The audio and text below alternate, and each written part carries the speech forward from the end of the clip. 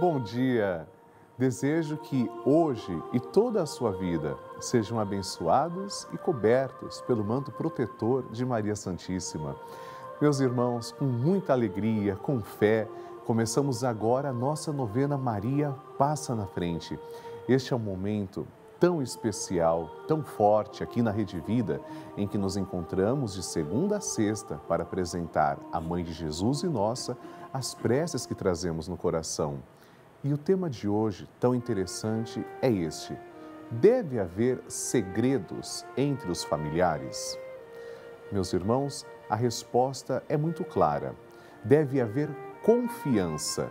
É claro que muitas das coisas em que se envolve privacidade, muitas das coisas que nós guardamos no coração, elas podem ficar guardadas conosco e serem partilhadas, por exemplo, as nossas confissões com o sacerdote, com as pessoas em que temos confiança. A família, de fato, é o nosso primeiro berço. Agora, também é muito importante saber que os nossos familiares merecem a confiança e eles devem fazer de tudo para nos ajudar. Uma família ajuda, os membros de uma mesma família são responsáveis uns pelos outros.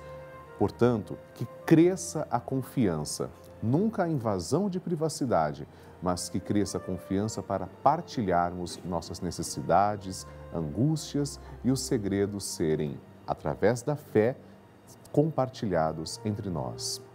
Eu quero muito ouvir você, suas aflições, os seus anseios. Conta para mim, eu vou rezar por você. Envie suas intenções pelo nosso WhatsApp. Hoje é o sexto dia da nossa novena. Vamos pedir, Maria, passa à frente da minha família.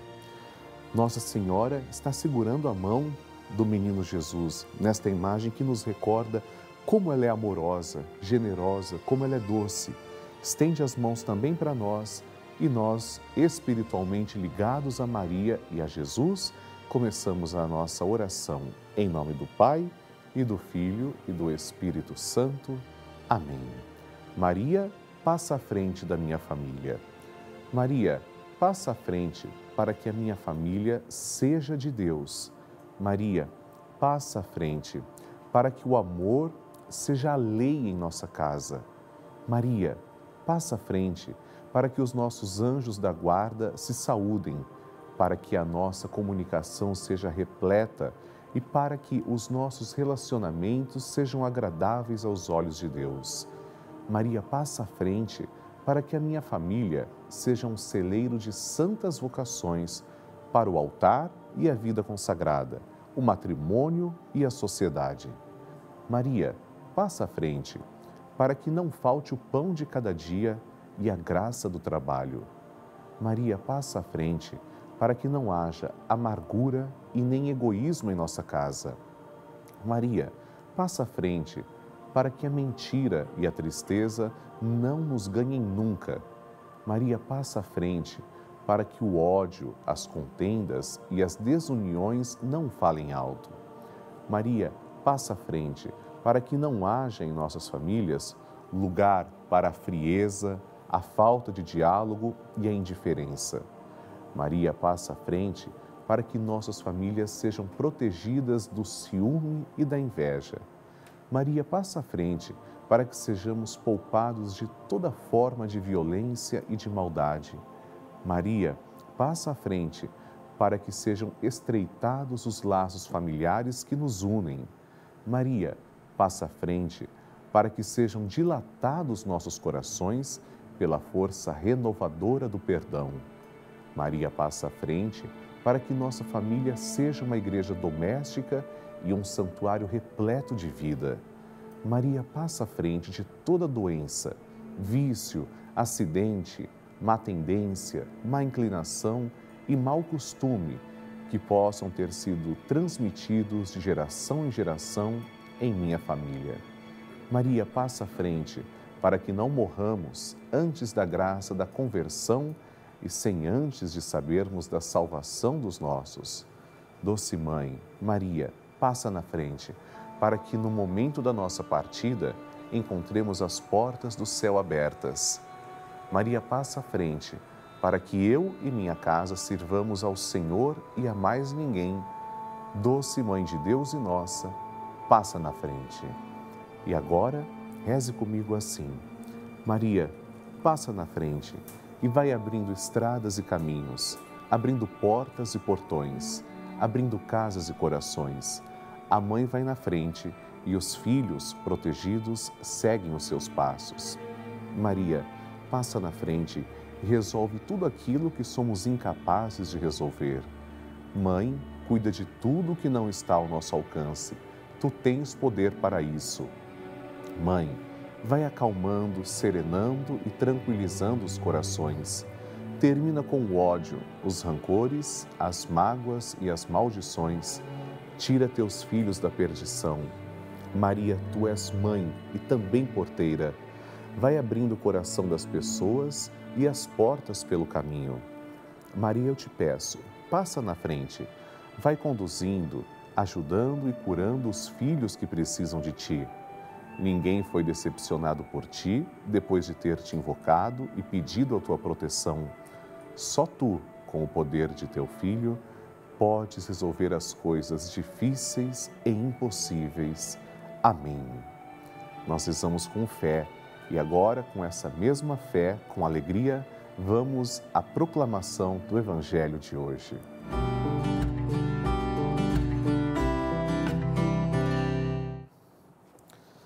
nosso Senhor sempre tem uma mensagem e a leitura do Evangelho vai nos falar sobre a simplicidade.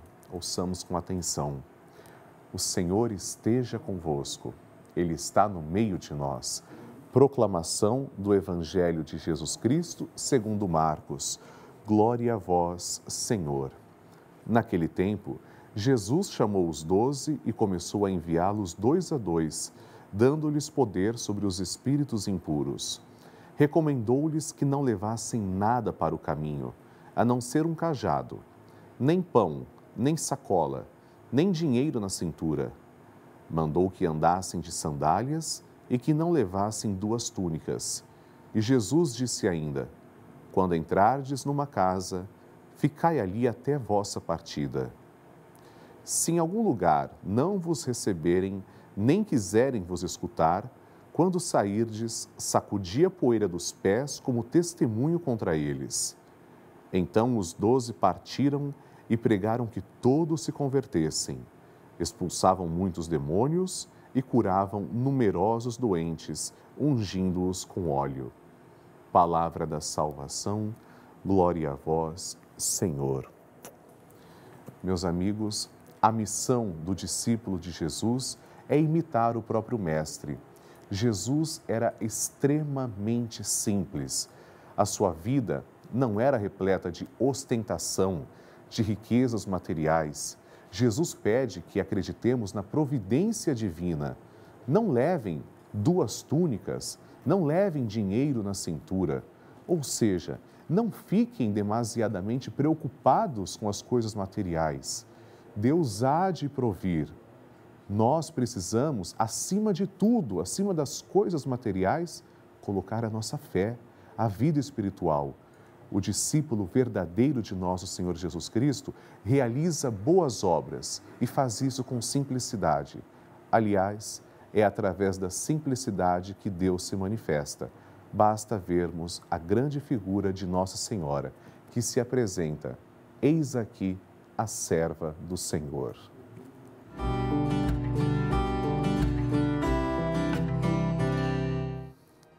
depois deste momento tão bonito em que refletimos juntos sobre o Evangelho, quero pegar direto da nossa urna cinco intenções. Cinco é um número sagrado, cinco é um número de mistérios que rezamos no Santo Terço diariamente. Vamos ver o que nossos irmãos estão pedindo. Então, primeira intenção, segunda, terceira, quarta e também a quinta. Rezar uns pelos outros é o que nós devemos fazer, pois somos irmãos. Cleidimar, de Minas Gerais, está pedindo orações para o filho querido Eduardo e também pela, pela querida neta Alice. Amor, saúde, paz, harmonia e compreensão. Leidmar, que bonito, que Deus abençoe e você que é duplamente mãe, vai com certeza obter as graças de Nossa Senhora. Um coração de mãe, a própria Virgem Maria nunca negaria esse pedido. Mayra Siqueira de Souza de Franca, São Paulo, pede oração pela família e por todas as pessoas desempregadas, em especial por ela. Mayra, vamos rezar por você e que Nossa Senhora passe à frente daqueles que precisam de um trabalho digno. Terceira intenção, Arlinda Trindade Honório, de Iguaçu, do Rio de Janeiro. Gostaria de colocar o nome do meu filho na novena Maria Passa na Frente para iluminar o exame, pois ele está no hospital com uma alta taxa de problema. Vamos rezar, Arlinda, vai dar tudo certo, tenho certeza na confiança da proteção de Maria Santíssima. Isabela Calisto, de Santa Rita do Sapucaí, Minas Gerais, peço oração para minha mãe, que ela possa se arrepender de todos os seus pecados. Amém. Isabela, vamos pedir oração para que todos nós nos arrependamos. Todos somos pecadores. Rezemos pela nossa conversão e de toda a humanidade. E a quinta intenção deixa eu ver, é da Cida Rocha Silvestre, de Santos. Bom dia, Padre Lúcio Sesquim. Agradeço a Deus pelo dom da vida. Peço saúde e paz para toda a minha família, em especial pela saúde da minha irmã Célia. Cida, vamos rezar por você com todo o amor. Você viu agora as intenções que foram compartilhadas. Você também pode enviar, aliás, ficamos felizes com isso. Envie sua intenção pelo nosso WhatsApp ou através das redes sociais do canal da família. Nós fazemos questão de sempre rezar por você, com o apoio do projeto Juntos pela Vida, que nos ajuda a levar uma programação melhor a cada dia para dentro do seu lar. Meus irmãos, o Magnificat é um cântico tão bonito, profundo. Ele é entoado com frequência na liturgia cristã. Ele nasce do Evangelho de São Lucas. Lá é proclamado pela Virgem Maria quando ela visita sua prima Santa Isabel. Depois de Nossa Senhora saudar Isabel, que está grávida com aquele que será conhecido como São João Batista, a criança se mexe dentro do útero de Isabel. Então, Isabel louva Maria por sua fé e a Santíssima Virgem Maria entoa o Magnificat como resposta. Nós vamos fazer o mesmo. O Magnificat e o Santo Terço são as orações por excelência de Nossa Senhora. Por isso, pegue o seu terço também, porque após o Magnificat, vamos juntos oferecer a primeira Ave Maria do dia. Juntos, meus irmãos, oremos. A minha alma engrandece ao Senhor e se alegrou meu espírito em Deus, meu Salvador, pois ele viu a pequenez de sua serva. Desde agora as gerações hão de chamar-me de bendita. O poderoso fez por mim maravilhas e santo é o seu nome. Seu amor, de geração em geração, chega a todos que o respeitam. Demonstrou o poder de seu braço, dispersou os orgulhosos, derrubou os poderosos de seus tronos e os humildes exaltou. De bens saciou os famintos e despediu sem nada os ricos. Acolheu Israel, seu servidor, fiel ao seu amor como havia prometido aos nossos pais, em favor de Abraão e de seus filhos para sempre. Glória ao Pai, ao Filho e ao Espírito Santo, como era no princípio, agora e sempre. Amém. Juntos, vamos rezar a primeira Ave Maria. Ave Maria, cheia de graça, o Senhor é convosco. Bendita sois vós entre as mulheres, e bendito é o fruto do vosso ventre, Jesus. Santa Maria, Mãe de Deus, rogai por nós, pecadores, agora e na hora de nossa morte. Amém. Glória ao Pai, e ao Filho, e ao Espírito Santo, como era no princípio, agora e sempre. Amém. E chegou o momento em que eu vou conceder a você a minha bênção, para que o seu dia seja repleto de paz, de saúde e de alegria. O Senhor esteja convosco, Ele está no meio de nós por intercessão da bem-aventurada, sempre Virgem Maria, Mãe de Deus e nossa, desça sobre você e sua família, livrando de todos os perigos e protegendo de todos os males. A bênção e a proteção de Deus Todo-Poderoso, em nome do Pai, e do Filho e do Espírito Santo. Amém.